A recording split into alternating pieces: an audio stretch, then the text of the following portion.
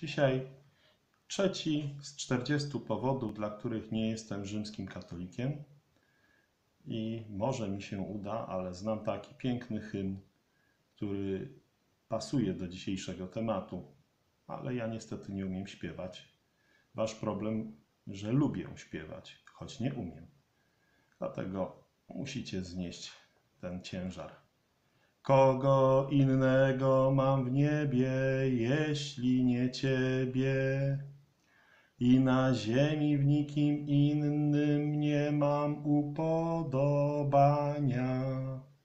Chociaż ciało i serce zamiera, to jednak Bóg jest siłą serca mego i mą opoką na wieki. Kogo innego mam w niebie, jeśli nie Ciebie? I na ziemi w nikim innym nie mam upodobania. Chociaż ciało i serce zamiera, to jednak Bóg jest siłą serca mego i mą opoką na wieki. Kogo innego mam w niebie, jeśli nie Ciebie? I na ziemi w nikim innym nie mam upodobania. Chociaż ciało i serce zamiera, to jednak Bóg jest siłą serca mego i mą opoką na wieki.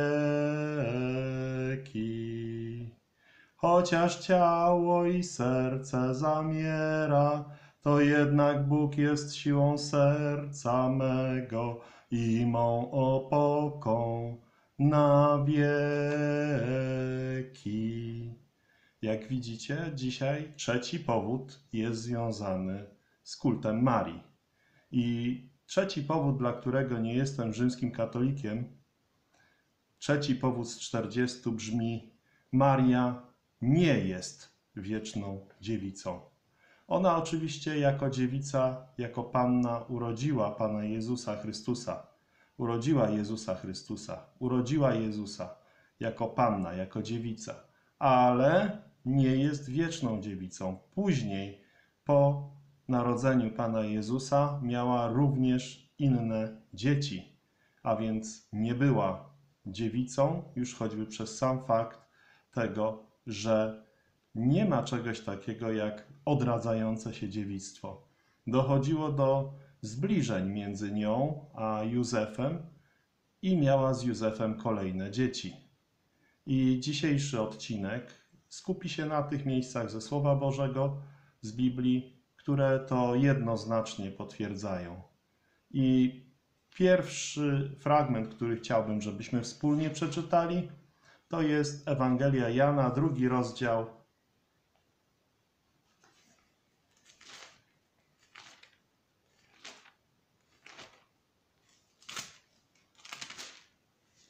A trzeciego dnia odbywało się wesele w Kanie Galilejskiej i była tam matka Jezusa.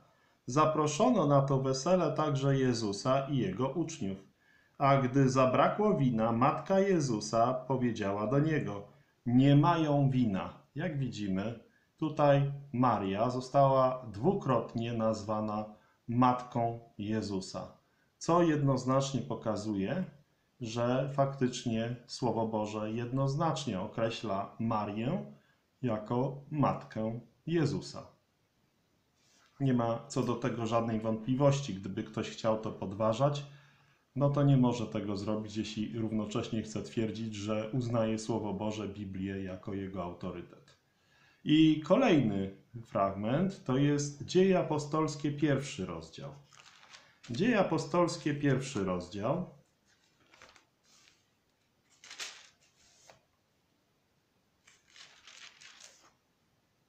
Od 14 wersetu. Dzieje Apostolskie 1:14. Ci wszyscy trwali jednomyślnie w modlitwie i prośbach razem z kobietami, z Marią, matką Jezusa i jego braćmi. Czyli widzimy, że tutaj po zmartwychwstaniu Pana Jezusa Chrystusa jest zgromadzenie, w którym uczestniczy Maria, matka Pana Jezusa i także jego bracia. Bracia. To pokazuje, że ta kobieta miała inne dzieci. I nie ma żadnych wątpliwości, że te inne dzieci były z niej i w wyniku zbliżenia z mężczyzną, z Józefem, który był opiekunem Pana Jezusa tutaj na ziemi, bo ojciec to nie był dla Jezusa. Dla Jezusa w przypadku tak zwanego niepokalanego poczęcia to ojcem jest Bóg, a Maria poczęła dziewiczo. Natomiast widzimy tutaj, że nie było to dziewictwo wieczne. To jest właśnie trzeci powód, dla którego nie mogę być rzymskim katolikiem. Trzeci z czterdziestu. Tych powodów jest znacznie więcej, natomiast w tej serii chciałbym pokazać 40 i to wcale nie najważniejszych, tylko te, które jako pierwsze przyjdą mi na myśl. Następny fragment to jest Mateusza, pierwszy rozdział. Ewangelia Mateusza, rozdział pierwszy.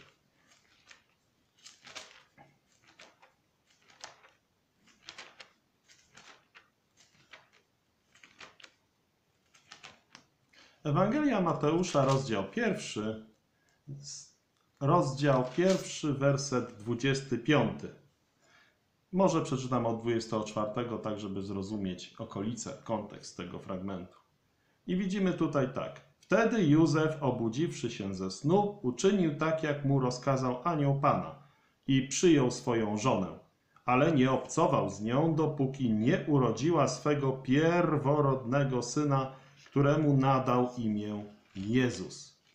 Czyli widzimy, że Józef nie zbliżał się do Marii do czasu, aż urodziła Pana Jezusa. Później Józef już normalnie spełniał swoje obowiązki małżeńskie względem Marii. Jednym z tych obowiązków jest wyżywienie. Drugim z tych obowiązków mężowskich wobec żony jest odzież a trzecim z obowiązków mężowskich wobec żony jest obcowanie cielesne. Mamy to zapisane między innymi w Starym Testamencie, pod który podlegał Józef. I tam jednoznacznie było pokazane, że jeżeli ktoś miał brankę, którą chciał uczynić swoją żoną i traktować ją jak żonę, to miał spełniać wobec niej te trzy mężowskie obowiązki: wyżywienie, odzież i obcowanie cielesne. I było powiedziane, że kto tych trzech obowiązków nie spełni, ten ma po prostu sytuację taką, że ta kobieta może go opuścić, mimo że jest niewolnicą, bez wykupu. Jest to mocne naruszenie obowiązku wobec żony. Jeżeli mamy sytuację taką, że mamy jakiegoś leniwego nieroba, który każe swojej żonie iść do pracy, choć jest zdrowy i mógłby utrzymywać y, żonę i rodzinę i dzieci ze swojej pracy, z pracy własnych rąk, no to to jest przykład grzechu zniewieścienia. A wiemy, że żaden zniewieściały nie wejdzie do Królestwa Bożego. I tutaj, jeżeli oskarżasz Józefa, że on nie obcował z żoną, jeżeli oskarżasz Józefa, że on porzucił swoje obowiązki mężowskie wobec Marii, no to nie możesz go równocześnie czcić jako świętego Józefa. To byłby drań Józef, a przecież w katolicyzmie Józef jest czczony jako święty. Więc musisz się zdecydować, albo jest święty i normalnie współżył ze swoją żoną, albo był szubrawcem, który nie dbał o obowiązki mężowskie wobec Marii. Ale wiemy ze Słowa Bożego, że jak najbardziej pojawiły się kolejne dzieci. Ja wiem o tym ze Słowa Bożego, ty też się możesz o tym dowiedzieć. Może te miejsca, które dzisiaj wspólnie przeczytamy, pomogą ci zrozumieć, że Józef nie był draniem, że Józef był w porządku facetem. I teraz Jana Ewangelia, siódmy rozdział.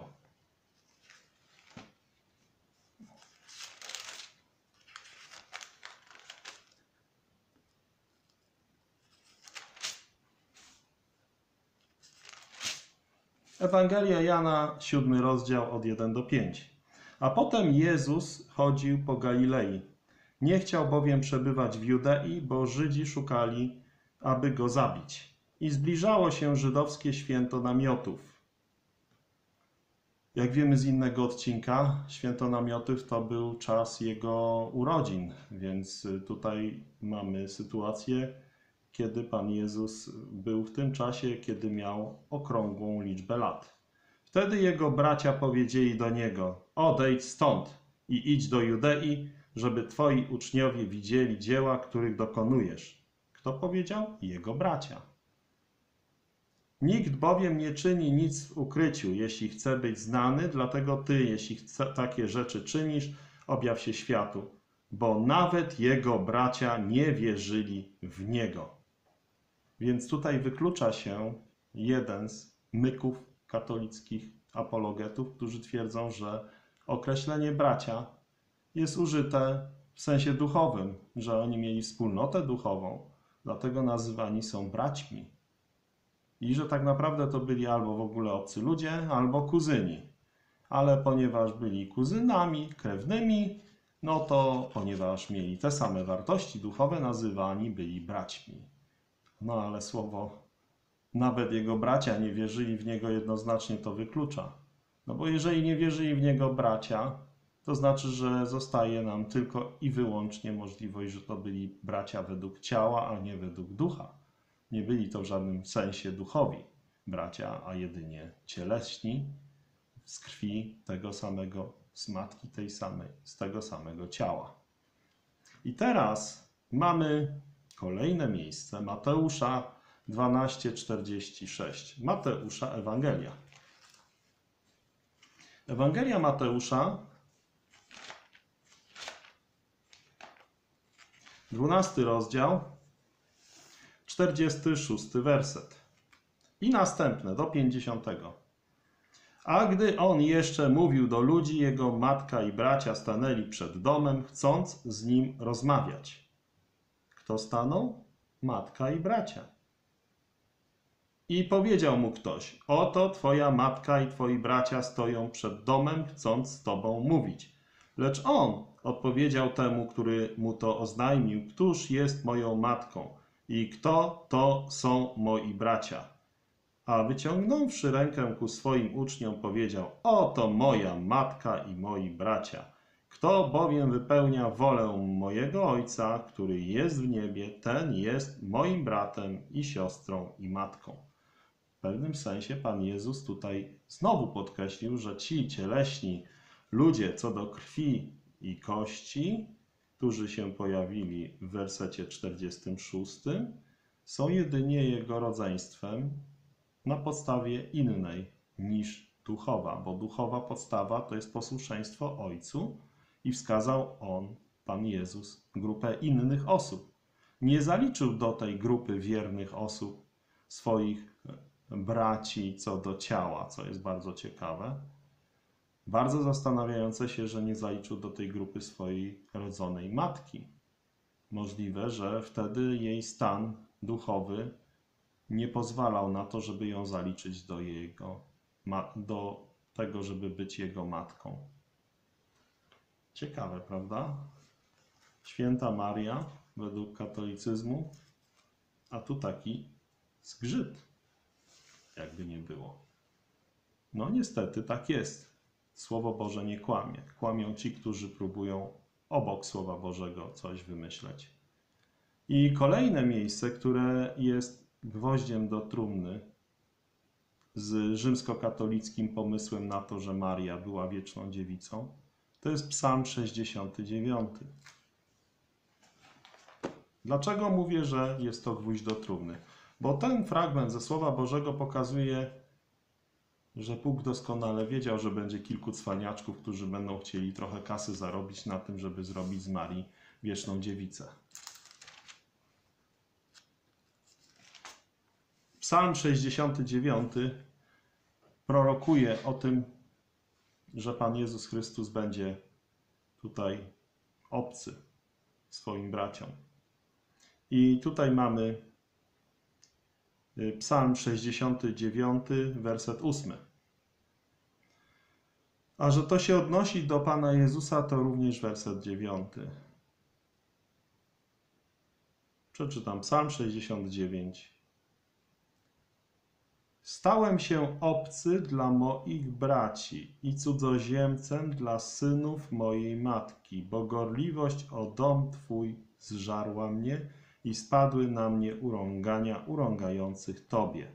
Widzimy jednoznacznie, że to są słowa Pana Jezusa Chrystusa z przyszłości. Bo Pan Jezus Chrystus wyraźnie użył tych słów, bo gorliwość o dom Twój zżarła mnie w momencie, gdy przepędził, przekupniósł ze świątyni. Użył tych słów, że gorliwość o Twój dom zżarła mnie i spadły na mnie urągania urągających Tobie. A werset wcześniej mówi wyraźnie, stałem się obcy dla moich braci. Jakich braci? Cudzoziemcem dla synów mojej matki. Tak, dla synów mojej matki. Nie ma żadnej wątpliwości. Są to bracia, którzy są równocześnie synami jego matki. Nie ma możliwości tego pomylić z kuzynami, nie ma możliwości pomylić tego z innymi braćmi duchowymi. Co za tym idzie, jednoznacznie widzimy, że Psalm 69, werset 8 i 9, stałem się obcy dla moich braci i cudzoziemcem dla synów mojej matki, bo gorliwość o Twój dom zżarła mnie i spadły na mnie urągania urągających Tobie, wyklucza, aby Pan Jezus do tych braci zaliczał swoich braci duchowych, bo już wiemy wcześniej, że oni nie wierzyli w Niego, i aby doliczał do tych braci swoich kuzynów, bo kuzynowie nie są synami Jego matki. Prędzej możesz udowodnić inne bzdury, na przykład, że Józef nie był yy, braćmi, yy, nie był ojcem tych kolejnych braci, ale urodziła ich Maria, czyli możesz sobie wymyśleć, że Maria miała więcej mężczyzn w swoim życiu niż tylko Józefa. Kolejne miejsce. To jest miejsce związane z Mateusza 13:55. Mateusza 13:55.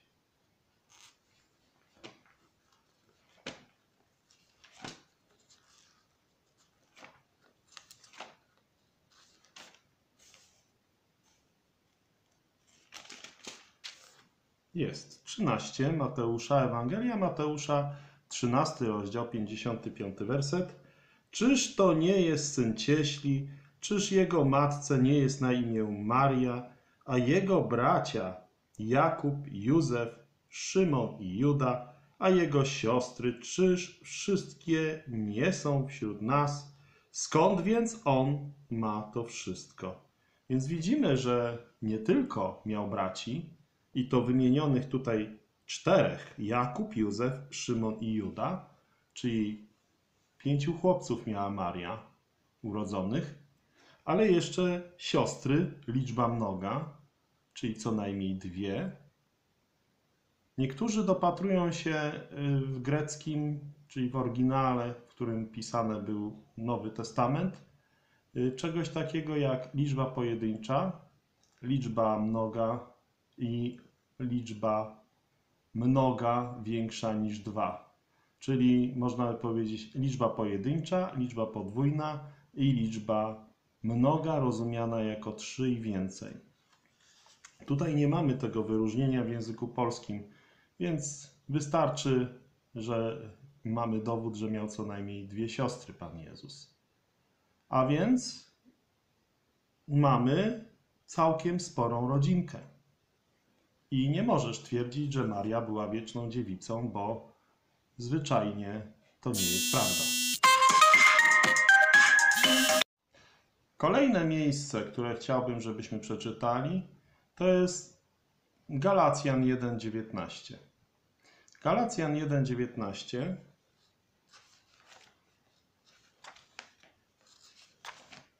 Galacjan, rozdział pierwszy,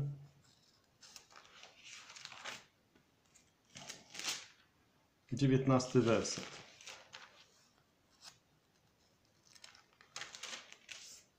A spośród apostołów nie widziałem żadnego innego poza Jakubem, bratem Pana. Czyli Jakub jest tu nazywany bratem Pana przez apostoła Pawła. Czyli jednoznacznie widzimy, że apostoł Paweł potwierdza, że Pan Jezus Chrystus miał brata Jakuba.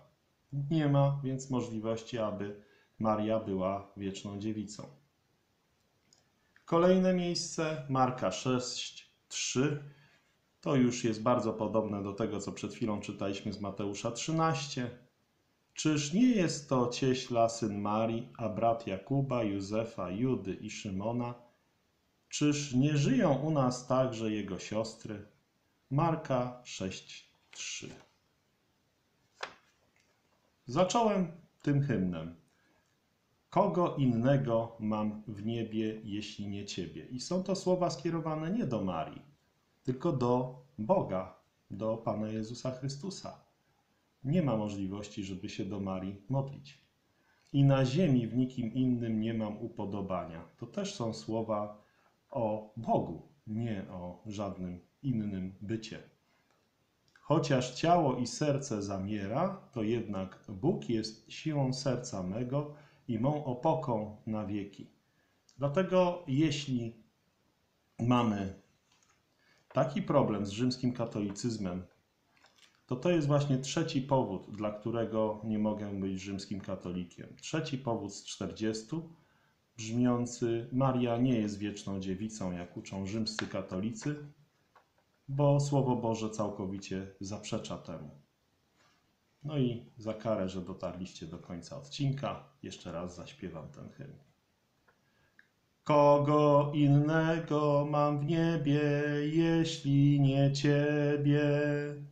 I na ziemi w nikim innym nie mam upodobania. Chociaż ciało i serce zamiera, to jednak Bóg jest siłą serca mego i mą opoką na wieki. Kogo innego mam w niebie, jeśli nie Ciebie? I na ziemi w nikim innym nie mam upodobania. Chociaż ciało i serce zamiera, to jednak Bóg jest siłą serca mego i mą opoką na wieki. Kogo innego mam w niebie, jeśli nie Ciebie? I na ziemi w nikim innym nie mam upodobania. Chociaż ciało i serce zamiera, to jednak Bóg jest siłą serca mego i mą opoką na wieki.